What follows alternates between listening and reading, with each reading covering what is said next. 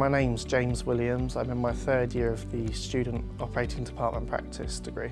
ODPs uh, follow patients through their perioperative journey, focusing in either anaesthetic, surgery or recovery.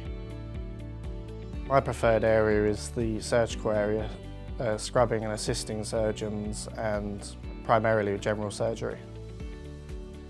We've done lots of placements, which is good because that's where you gather your experience. So we do various different placements, so we would spend like a month doing anaesthesia and a month doing surgery. We also have two placements of recovery and we also have an A&E placement where we get to learn our emergency care. Throughout the three specialities of anaesthetics and surgery and recovery, I would say my preference is anaesthetics.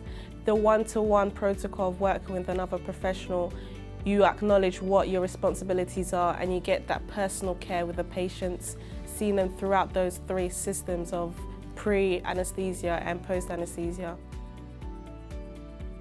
The support that I've been given at the university has um, enabled me to achieve my aims and been of a really good standard. Canterbury Christ Church is a really good learning environment and I've been offered a combination of skills and knowledge to take out into practice.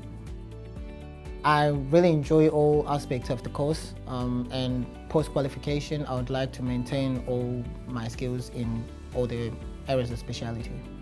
Support has always been available and I've got um, really good feedback from all my tutors so I'm able to work on it and improve on my practice.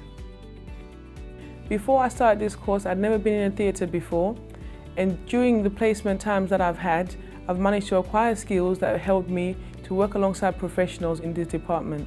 If you'd like to build on your confidence and you enjoy working in a multidisciplinary team, then ODP is the course for you.